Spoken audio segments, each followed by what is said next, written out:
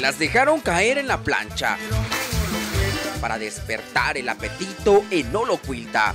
En la pupusería Claudia encontraron una combinación perfecta entre el sabor y lo saludable. Y es que aseguran que esta delicia les subirá las defensas.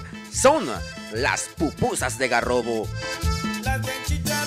Doña Claudia es la inventora de este platillo al que agrega garrobo que preparó con tomate, chile, cebolla y otros vegetales.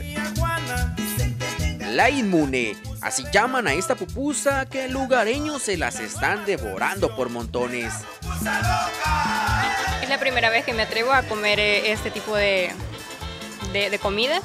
La verdad que nunca me había arriesgado a probarla, pero esta pupusa está muy deliciosa. Esta delicia también lleva quesillo especial. Al abrirla de garrobo, se ve similar a la de pollo, pero el sabor es totalmente diferente.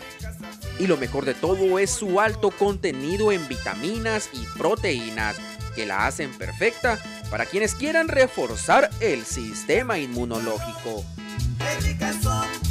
Hemos descubierto que es uno, uno de los, de los um, animales que tiene en abundancia a subir las defensas de nuestro cuerpo.